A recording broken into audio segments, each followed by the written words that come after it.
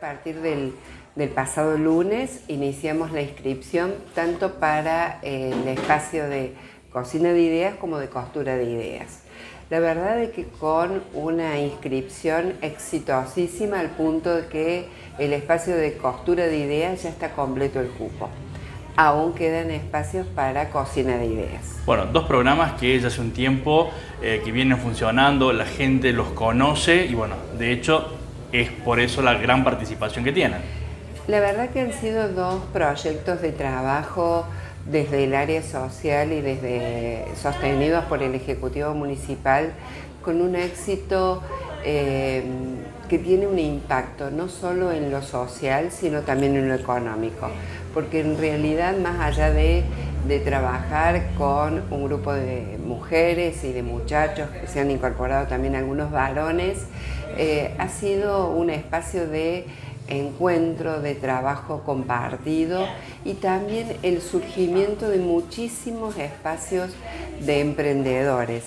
Eh, la idea es que eh, las personas que allí asisten a los diferentes eh, digo, espacios de trabajo, tanto en cocina como como en costura, eh, puedan por sí solos y autónomamente generar sus propios proyectos de, trabajo a futuro. De hecho, Ana, eso lo vemos en cada una de las presentaciones de cosecha de idea en Plaza General Paz, que cada vez son más los emprendedores ¿no? que, que aparecen. Exactamente, la verdad que un éxito total.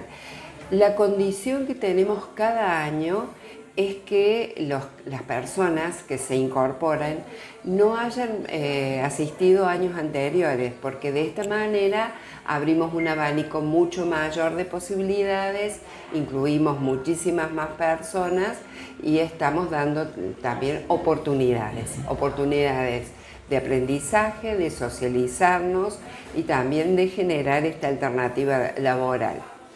Eh, yo quería agregar que em, Vamos a volver a trabajar con cocina y con costura de ideas desde el área social más fuertemente.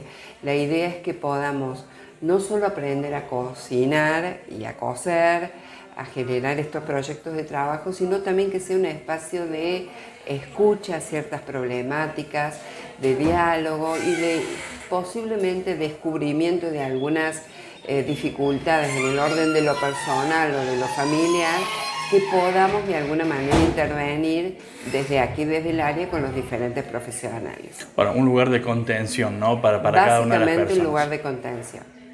Bueno, Ana, ¿cuándo van a estar arrancando estas, estas clases? Eh, dijiste algo de los requisitos recién, que por ejemplo no haya participado años anteriores. Ese es el ¿Hay otro requisito? Ese es el único requisito, más allá de ser mayores de 18 años. Eh, tenemos, eh, terminamos esta semana eh, con la inscripción y tenemos toda la semana próxima para inscribirse. Saben que es en el transcurso de la mañana, aquí en el espacio del área de desarrollo humano, que cito en, el espacio ex Salita Feliz. Así que bueno, los esperamos entre las 7 y las 13. Estamos aquí esperando para que se inscriban. Todavía quedan lugares para cocina de ideas.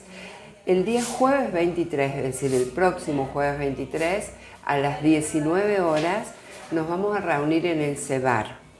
El CEBAR, para los que no conocen, porque todavía hay gente que no, conoce claramente, es, detrás del museo, en el paseo eh, Juan, Juan Audicio.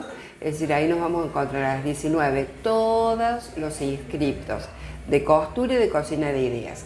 Ahí vamos a conformar los grupos y el próximo lunes 27 ya estamos dando inicio a la, Diciendo y haciendo. Sí, sí, absolutamente, Ana, aprovechamos también para consultarte con respecto a lo que es la presentación de estos formularios de ANSES eh, que se suelen hacer, que tiene que ver con eh, la asignación universal eh, para presentar en ANSES, como decíamos. Todos estos formularios, al igual que una serie de programas que hay a nivel eh, provincial o nacional, todo ese, eh, ese trámite se realiza en este espacio.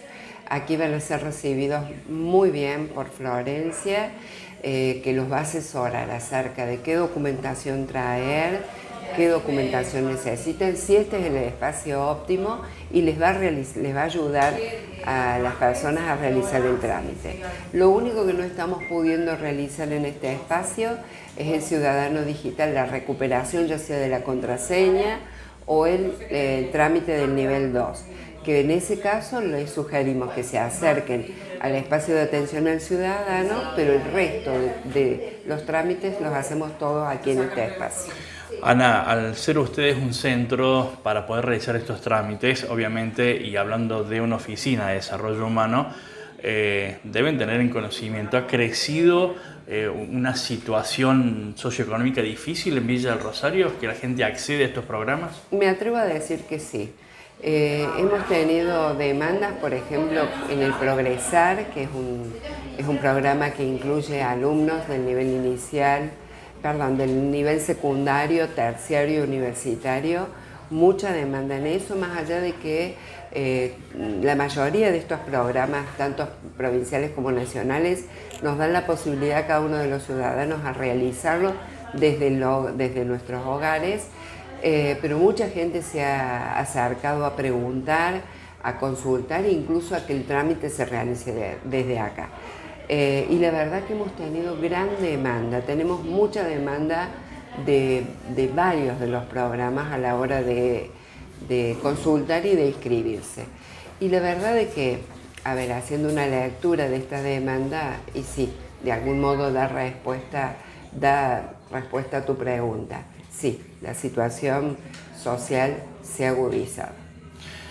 Ana, también hemos escuchado a través de medios masivos, ¿no? Esto de que el gobierno provincial ha estado promocionando, que tiene que ver con estos 3 gigas para el, tema de internet. ¿Ha habido consulta con respecto a esto, más allá de que se hace em, también de manera virtual, Pero bueno, no todos pueden acceder a, saber cómo hacerlo. No, sí, sí, se acercan aquí, Florencia este, los orienta y realiza el trámite. Bueno, ¿ha habido muchas consultas con respecto a eso? Mucha consulta, mucha, mucha consulta con respecto a eso. Convengamos que lo que antes creíamos que el Internet era un lujo que podíamos llegar a tener en la casa, en este momento y sobre todo a partir de la pandemia, es una necesidad. Es por eso que, bueno, en cada una de las casas donde hay, sobre todo donde hay niños, adolescentes o jóvenes estudiando, es sumamente necesario la presencia de Internet. Cuando no lo tenemos, lo tenemos que tramitar desde otros espacios. Es decir, que es una posibilidad que tienen para aprovechar en todos los niveles educacionales. En todos los niveles educacionales, efectivamente.